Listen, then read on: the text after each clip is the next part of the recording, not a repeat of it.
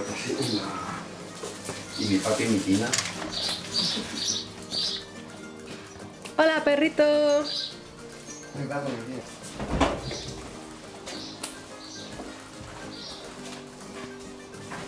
Perdón. Soy Juan Antonio Torres del grupo Vihuela y yo toco la guitarra, canto, me encargo sobre todo pues eso de la, de la organización musical del grupo. Soy de aquí, de Carpio de Tajo. Carpio de Tajo está en la provincia de Toledo, es una de las cinco provincias de la comunidad autónoma de Castilla-La Mancha. El Carpio de Tajo está aquí al lado del río, el río Tajo, muy cerquita, un par de kilómetros. Bueno, pues yo entré en contacto con la música tradicional pues de, de, siempre, porque en mi casa siempre se ha cantado música, siempre se ha hecho música, mi padre era músico, además de otras actividades que tenía él. Mi madre canta, mis tíos han cantado, toda la gente en mi casa ha cantado, entonces siempre he estado en contacto con la música en general y con la música tradicional, pues al ser del pueblo, el pueblo todo, vamos, todavía se sigue haciendo y se ha hecho música tradicional y a mí me ha gustado siempre participar de esta música, claro, y, y, trabajar sobre ella, por eso ahora trabajamos y trabajo en mi abuela sobre esta música. La música tradicional en, en la actualidad aporta desde varias perspectivas, desde la perspectiva del entretenimiento, pues sí, porque todavía se sigue usando, hay gente en el pueblo que todavía nos juntamos pues para, pues para cantar y usamos este tipo de música, además de otros tipos de música. Y luego hay otra, otra visión de la música tradicional, que es la música espectacularizada, la música subida a los escenarios, que también Vihuela es lo, es lo que hace realmente, es subir la música a los escenarios, eh, teniendo en cuenta y sobre todo cuidando mucho la calidad artística de la música, poniéndola en valor desde esa perspectiva, de la perspectiva de lo artístico, de lo escénico, de lo bonito y de lo interesante. ¿Qué aporta diferente la música tradicional respecto a cualquier otra, otro tipo de música? Desde las dos perspectivas aporta algo diferente, porque la música tradicional que se usa por la gente la usa realmente porque forma parte de su historia y no solamente de su historia, sino de la historia de su gente. Entonces es como utilizar materiales heredados que forman parte de una forma de vida, de una forma de ver la vida, de una forma de, de hacer en un determinado sitio. Ese es eso es por lo que nosotros cuando nos juntamos a hacer ronda fuera del escenario, ¿eh?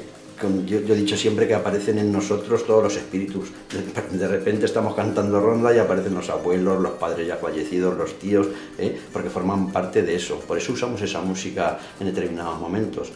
Y luego el otro tipo de música, la música, la música pop, la música rock, también forma parte, porque claro, está aquí y también la usamos, pero no la usamos con esa filosofía porque eh, ya no aparecen nuestros ancestros cuando cantamos esa música, porque no, nosotros no hemos compartido con ellos esa, esta música moderna, claro.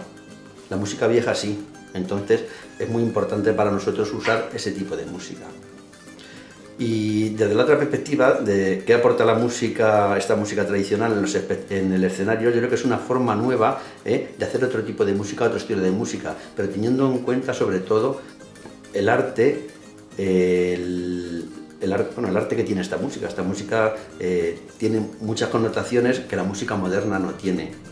Entonces creo que es importante ponerla en valor, es importante hacerla con una calidad que sea excelente, efectivamente, una calidad artística excelente para ponerla en valor, el valor que realmente tiene. Porque igual que el resto de las músicas puede tener su sitio en la música comercial, exactamente igual que cualquier tipo de música, es una música que realmente emociona, con todos sus movimientos eh, melódicos, eh, todas sus cadencias eh, de los compases, de, los, de esos ritmos eh, cadenciosos que tiene esta música, yo creo que es algo muy interesante y por eso nosotros la subimos ahí al, al escenario.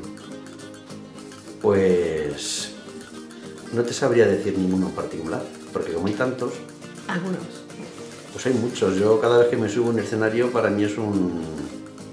Eh, y puedo poner en, encima del escenario esta música, entonces como siempre hay un disfrute, yo no sé, yo tampoco, hombre, nosotros hemos tenido un montón de sitios muy importantes donde hemos estado tocando, muy interesantes, pero yo creo que eh, yo me lo he pasado igual en el WOMAT, que me lo puedo pasar en el pueblo de al lado de mi pueblo tocando, porque yo en ese momento soy la misma persona en un sitio que en otro haciendo la música, indudablemente, unos escenarios tienen más repercusión que otros, pero para mí para mí personalmente tampoco te podría decir eh, dar valor a un escenario u otro escenario por la calidad o la importancia del escenario en sí, porque para mí son muy importantes todos los escenarios.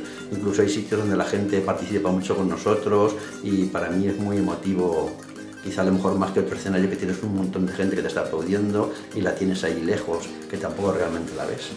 Nosotros estamos continuamente, yo personalmente, imagino que mis compañeros también, estamos continuamente soñando, porque somos unos soñadores.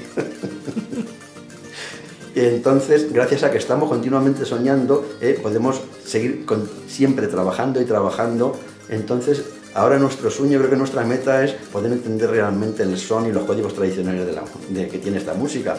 Pero quizás sea ese el fin de que podamos eh, inmiscuirnos tanto en la música, de, llegar realmente a, las entrañas de ella, que es lo que estamos trabajando y lo que más ahora más nos, más nos llama la atención.